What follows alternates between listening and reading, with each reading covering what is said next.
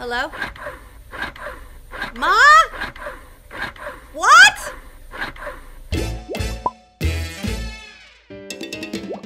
Hi, I'm Miss Pillows here for you and your tatas. Pumping isn't intuitive. When they told you about motherhood, you probably didn't envision tubes and weird pumping techno sounds. But ladies, you gave birth.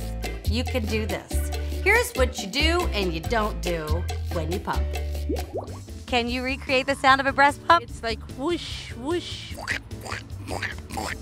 Do you think it sounds like Womp, womp. Yes, baby, yeah, baby.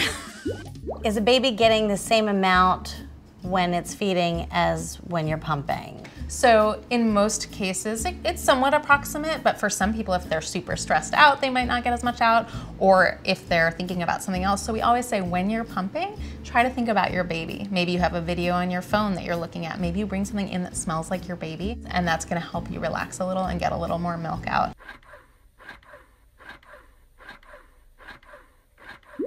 So, how do you pick a pump that's right for you? So it really depends what your needs are. Are you going back to work full time? You're gonna be gone nine hours a day. You want a double electric pump that's gonna be able to pump both sides efficiently. You have a baby that's born early, a premature baby, it's not sucking that well, and you really need to stimulate. You're gonna want a hospital grade electric pump. Then there's a hand pump. The hand pump is amazing. It goes in your purse, it doesn't have any electric. You stick it on and you can go like this. If you do a kind of job where you barely get a break, then whenever you go to pee, you're gonna get a few quick pumps in. If you're traveling, There are car adapters. So if you have a long commute, you can definitely be pumping in the car, which is great. How long do you think a pumping session lasts? About an hour. Holy mackerel! You would be pumping all day, every day! So, how often should you be pumping when you're away from your baby? We generally think about pumping as replacing a breastfeeding session if you want to keep at regular milk supply levels. So it depends how often you were breastfeeding with your baby. When you're away from your baby, you want to replace that amount. So if you're gone for nine hours and you were breastfeeding every three hours, you're going to want to pump approximately every three hours.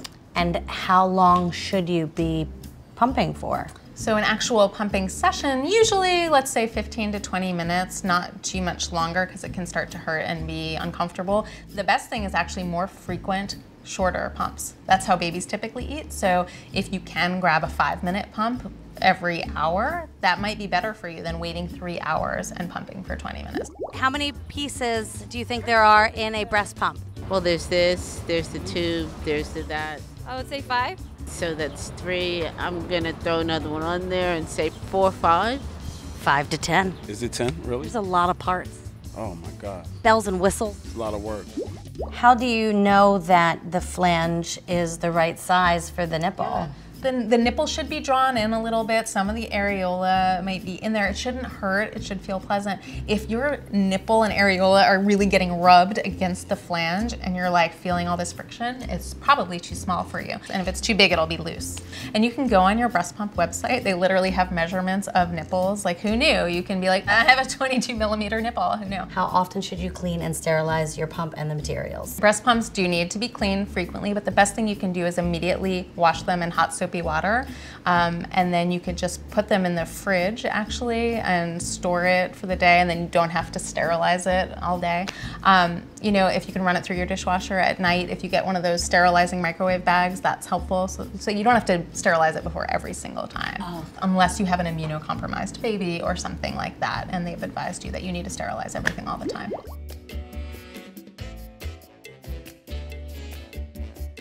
Is it legal as a boss to make a woman pump in the bathroom? No. No.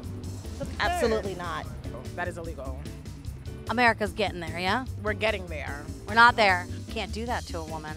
It's freedom now, bruh. Definitely. She should be able to pump wherever she is. That's right. What if you have a boss that makes you pump in the bathroom? Hmm, it's mostly illegal now.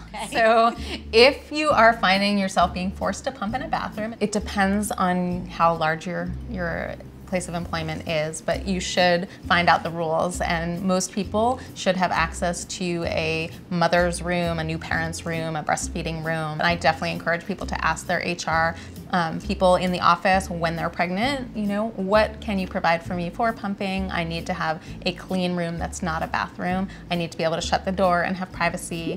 What do you say to a woman when she says, I need to go pump at work? Go for it. I would say enjoy that hour off. A whole hour. a whole hour. I wish I could do that. It ain't that fun to do it. Oh. I've heard. I've heard. I've heard. Pump it up. Oh, yeah, pump, pump, pump it up. Pumping doesn't have to suck. You know what I mean. Get a pump that fits your life and support your fellow pumpers at work. It's the law for your employer to provide a space that is not a bathroom. If you don't have what you need, speak up. It's your right. I'm Miss Pillows here with self care for growing a pair. Tatas for now.